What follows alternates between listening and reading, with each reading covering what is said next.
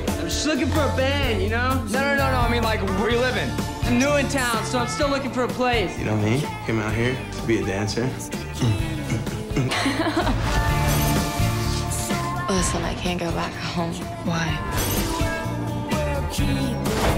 Another job you can get where you can make a quick 450 bucks for just a couple hours work. Can I help you? I was wondering if I could get my photo taken. You know the kind of pictures I take? Yeah, I know. You got a few bucks I can borrow for some oh. food? Hey, wh- where you headed? I'm just, you know. You need a ride?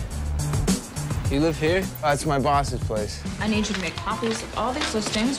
Hey, is it cool if after I do all this, I just go home? So many people would love to have your job. You have a free car, I know. nice place to live, but I need you 24-7. So are you gonna stick around?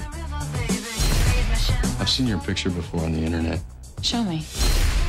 Is it your head on someone else's body? It's me. So who owns the pictures? A real low life.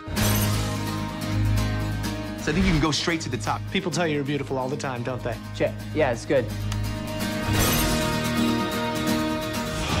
I guess I just thought this would turn into something more. You staying here. If I acted out your fantasy, would you do something for me?